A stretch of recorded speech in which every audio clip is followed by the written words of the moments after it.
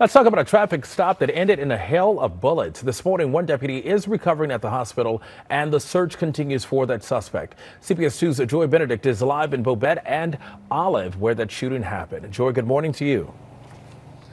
Good morning, DeMarco. Yeah, certainly a very terrifying situation, obviously, for that sheriff's deputy and everybody who lives in this neighborhood who heard that gunfire. But we are live this morning, as you mentioned, here on Olive Street. You can see over there in the street what's left of the asphalt that was damaged after that cruiser caught fire. But of course, it is the sound of this shooting that still resonates in this community.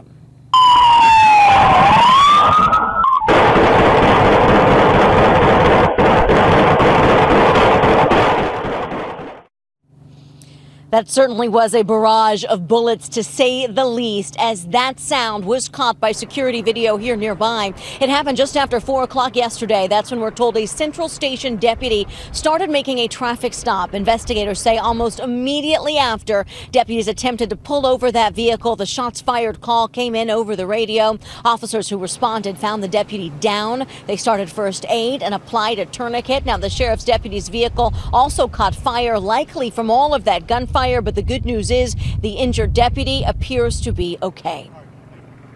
Superficial injuries to his face. We don't know how or how those facial injuries occurred, and then some type of shrapnel in his arm. I visited with the deputy myself. The deputy is in good spirits. He's coherent and talking and surrounded by his family.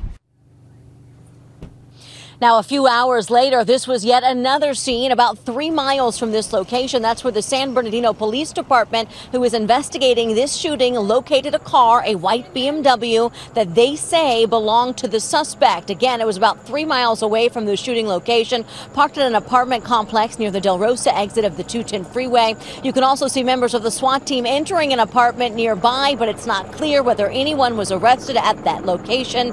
As last we were told, the shooter is still on the loose. Now, DeMarco, back out here live again.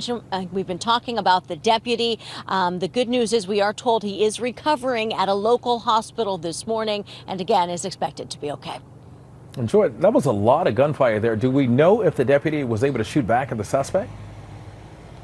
You know, we don't know the answer to that yet. Certainly, though, a lot of gunfire heard on that tape. It's not even clear if there was one suspect shooting, two suspects shooting, or whether that deputy was able to get off any shots that we heard there in that gunfire. All of that does remain under investigation. Again, a different department. The San Bernardino Police Department is the one investigating that shooting. They were out here until just a few hours ago, so hopefully we'll get an update here in the next couple of hours this morning and figure out a little bit more about what they learned. Joy Benedict live in San Bernardino. Joy, thank you for that report.